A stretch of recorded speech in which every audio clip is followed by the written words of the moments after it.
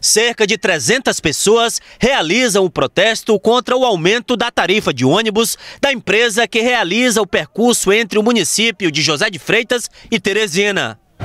Que aqui a pessoa que ganha um salário pagar 10 reais, 5 para ir, 5 para voltar. É, e assim ele está pagando para trabalhar, rapaz. Não tem condição. E outro, se quiser sentar numa cadeira da, da São Joaquim, tem que pegar o ônibus lá na, no Guaraná, lá em cima, fora da cidade, onde ele vai buscar um povo no interior, para vir, vir sentado. Isso aí é um desrespeito com a população da cidade. Essa é uma empresa sucateada, firmada no prego, multada. É, é, é uma coisa terrível. E as nossas autoridades não tomam providência, rapaz.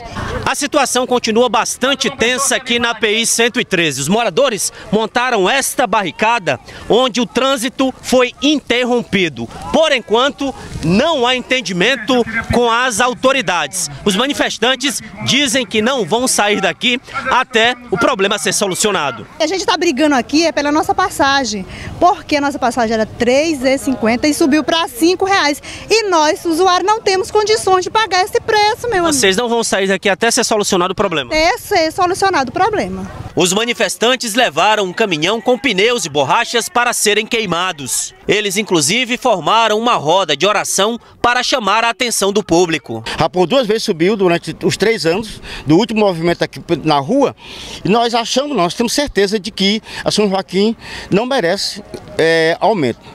E nós responsabilizamos aqui a Secretaria de Transporte, pelo fato de a Secretaria de Transporte aceitar o aumento e as condições que a São Joaquim tem nos dado é a pior possível. A Polícia Militar e o Batalhão Rodoviário tentam negociar com os usuários. Conversamos com eles, com é, o pessoal da Associação de, de Usuários né, de Transporte Coletivo, aqui de José de Freitas, e é, também com a Secretaria de Transporte nós já mantivemos contato. Estamos tentando é, organizar uma reunião é, do, de, das, é, de representantes da Secretaria com o pessoal do movimento aqui. E nosso objetivo inicial é tentar essa solução pacífica. Né? O objetivo da Polícia Militar inicialmente é buscar essa solução pacífica para esse impasse aqui.